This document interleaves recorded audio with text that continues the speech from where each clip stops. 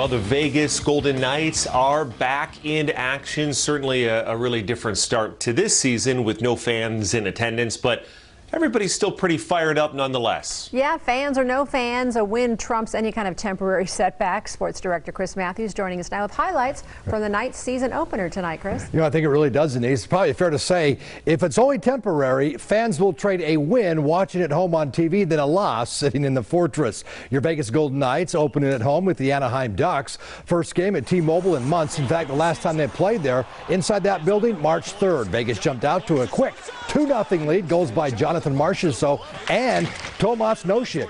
But the Ducks' do answer, it was tied 2-2 in the third when Vegas strikes captain Mark Stone. Scores just 49 seconds into that third period. Then Vegas steps on the gas and drives away the Ducks. Max Pacioretty scores. They would add an empty netter as Vegas rolls to a 5-2 win. I mean, so far so good. I mean, uh, played well tonight. Team, uh, team did a good job, really. Uh, you know, I enjoyed myself out there. It's a fun group to be a part of this is a tough building to play in when we got 18, 19,000 fans rocking it.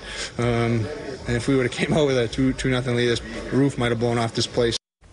All right, fun thing about this truncated season, lots of games over the next four months. Vegas, Anaheim back on the ice Saturday, and the Knights will debut those sharp looking gold jerseys. So you'll see those for the very first time. More on the game coming up in sports.